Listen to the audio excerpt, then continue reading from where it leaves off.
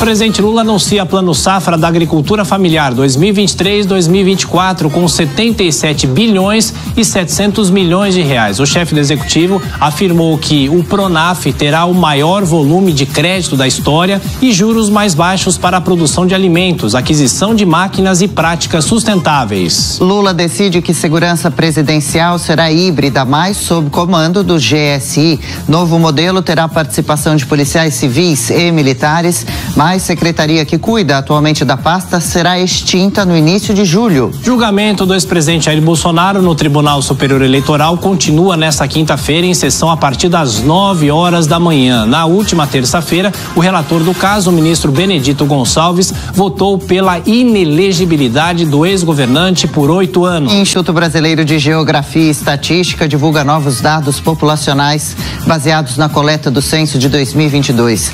No total, o Brasil ultrapassou ultrapassou a marca de 203 milhões de habitantes, com mais de 11 milhões de pessoas só na cidade de São Paulo. Salvador é a capital que teve maior redução populacional na comparação com a edição anterior do levantamento. A queda foi de 9,6% e com isso a cidade perde dois lugares no ranking dos estados. Governo e Banco Central discutem hoje possíveis mudanças na meta da inflação.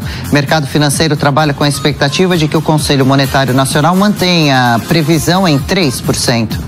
Já o ministro da Fazenda, Fernando Haddad, diz que ampliação do programa de carros populares será bancada em parte com uma antecipação na reoneração do diesel em 3 centavos a partir de outubro. O custo adicional do programa será de 300 milhões de reais, a mais do que o que foi previsto. Em... Última noite em Paris é marcada por protestos com carros incendiados e confrontos na cidade.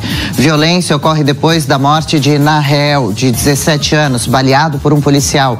O episódio comoveu o país e foi condenado por autoridades, políticos e celebridades. Presidente da Colômbia, Gustavo Petro, acusa a Rússia de violar os protocolos de guerra após ataque contra civis em um restaurante no leste da Ucrânia. A ofensiva deixou 10 mortos e três cidadãos colombianos feridos, incluindo o escritor Héctor Abad Faciolinci. Autoridades do Canadá descarregam em um porto no leste do país destroços recuperados do Titan, submersível que implodiu durante visita à área do naufrágio do Titanic. Guarda costeira americana informou que analisa supostos restos humanos do material recolhido. O futebol, o Flamengo confirma a classificação às oitavas de final da Libertadores. O rubro-negro goleou o Alcas por 4 a 0 no Maracanã pela sexta e última rodada da fase de grupos. Já o Corinthians venceu o Liverpool do Uruguai por 3 a 0. Em jogos da última rodada da fase de grupos da Copa Libertadores, o Internacional vence o Independiente Medellín 3 a 1 no estádio Beira Rio. Com a vitória, o Colorado se classifica para as oitavas de final da competição como líder da chave. As temperaturas vão cair e nada mais. Né? O que essa frente fria fez foi trazer o frio de inverno novamente para a região sul e sudeste do Brasil, regiões onde a gente viu que fez muito calor nesses últimos dias. Bom dia a você, Tiago, bom dia, Adriana, bom dia a toda a nossa audiência. É exatamente isso. Essa frente fria que passou pela região sul do Brasil já deixa o resquício do frio de volta, atrás do frio de inverno que essa região sul estava esperando há muitos dias, com máximas passando dos 30 graus. Agora, essa frente fria, assim como eu falei, é uma frente fria fraca